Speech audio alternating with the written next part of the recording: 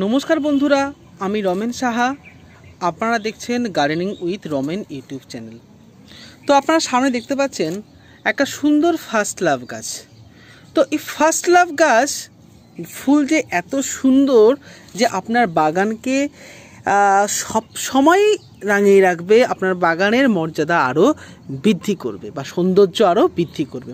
দেখুন, এখানে দুটো ফার্স্ট লাভ গাছ রয়েছে, একটা ফুল ফুটে আছে আর একটা ফুল ফোটেনি। এটা লাল ফার্স্ট ফার্স্ট লাভ গাছ আর এটা তো আপনারা দেখতেই পাচ্ছেন প্রায় সবুজ রঙের কালার তো সবুজ রঙের একটা ফার্স্ট লাভ গাছ। তো এই ফার্স্ট লাভ গাছের পরিচর্যা কী করে করবেন, মাটি তৈরি কী করে করবেন, সেগুলো নিয়ে আজকে আমার ভিডিও। দেখুন, এই ফার্স্ট লাভ গাছ প্রতিস্থাপন আমি কীভাবে করেছি? আমি মাটি দিয়েছি ফর্টি পারসেন্ট আর ভার্মিক কম্পোস্ট বা গোবর সার আমি দিয়েছি ফর্টি পারসেন্ট। আর দশ পার্সেন্ট দিয়েছি বালি আর দশ পার্সেন্ট দিয়েছি কোকোপিট।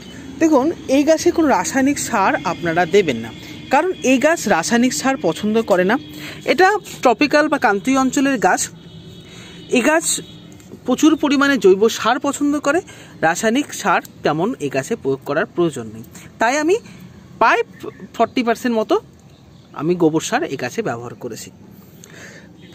তার সঙ্গে এক চামচ করে এটা ছয় ইঞ্চি টপ আর এটা আট ইঞ্চি টপ আমি ছয় ইঞ্চি টবের জন্য আট ইঞ্চি দুটোই মোটামুটি আমি এক চামচ করে হাড় গুঁড়ো, এক চামচ শিংকুচি এক চামচ নিমখোল আমি দিয়েছি, কারণ ওগুলো স্লো রিলিজ অনেক দিন ধরে গাছকে ফার্টিলাইজ করবে। গাছ বনে ঠিক এক মাস পর থেকে গাছে আমি খাবার দেওয়া শুরু করি। আমি এ গাছে লিকুইড খাবার, আমি তরল খোল জল এ গাছে প্রয়োগ করে থাকি। তার সঙ্গে সঙ্গে এনপিকে কারণ নাইট্রোজেনের ফসফরাস, পটাশিয়ামের ঘাটতি কিছুটা পূরণ করার জন্য আমি সমরেশ্বর এনপিকে গা, গাছে স্প্রে করে থাকি। দেখুন, আমার গাছ কিন্তু খুব সুন্দর বেড়েছে। তবে এ গাছে রোগ পোকার আক্রমণ হয় না বললেই চলে।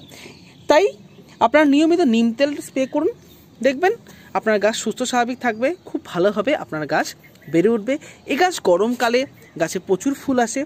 এই কারণে খাবার আপনাকে শীতকালে খাবার দেবেন না। শীতকালের পর থেকে ফেব্রুয়ারি মাস থেকে গাছে খাবার দিন রিপোর্ট করার প্রয়োজন রিপোর্ট করে দিন। আপনার গাছ কিন্তু খুব ভালো বাড়বে। আর একটা কথা বলি, যখনই গাছে ফুল ধরবে, দেখুন এই ফুল ধরেছে, ফুলটা শুকিয়ে গেলেই ঠিক এই পোর্শন থেকে গাছটা কেটে দেবেন। তাহলে কী হবে? গাছের গাছগুলো আরও ঝাঁকালো হবে। যত স্পুনিং করবেন মানে যত ফুল শুকিয়ে যাওয়ার পর কাটবেন, ততই কিন্তু গাছ আপনার সুন্দর গঠন নেবে। দেখুন, এই গাছে ফুল আগে ধরেছিল, আমি এখান থেকে কেটে দিয়েছি, তারপর দেখুন এদিকে পাঁচটা ডাল বেরিয়েছে। ঠিক একইভাবে কিন্তু এইখানেও ফুল ধরেছিল, আমি কেটে দেওয়ার পর দেখুন, গাছটা কি সুন্দর একটা শেপ নিয়েছে। তো এইভাবে আপনারা পরিচর্যা করতে থাকুন। দেখবেন, আপনাদের গাছ সুন্দরভাবে বাড়বে। তার সঙ্গে আরেকটা কথা বলি, গাছে ফাঙ্গাসের আক্রমণ হতেই পারে। তো সেই কারণে আপনাদের ওই নিম তেলের সঙ্গেই সাব অ্যান্টিফাঙ্গাস মিশিয়ে নেবেন, তাহলে দেখবেন, তাহলে কিন্তু আপনার কোনোভাবেই রোগ পোকা ফাঙ্গাসের আক্রমণ হবে না। নিম নিম তেল দেবেন দুই এম এল প্রতি লিটার জলে আর সাপ নেবেন দুই গ্রাম প্রতি লিটার জলে দিয়ে গাছে স্প্রে করে দিন, তাহলে আপনার গাছ সুস্থ সবল থাকবে এবং এত সুন্দর কিন্তু ফুল ধরবে।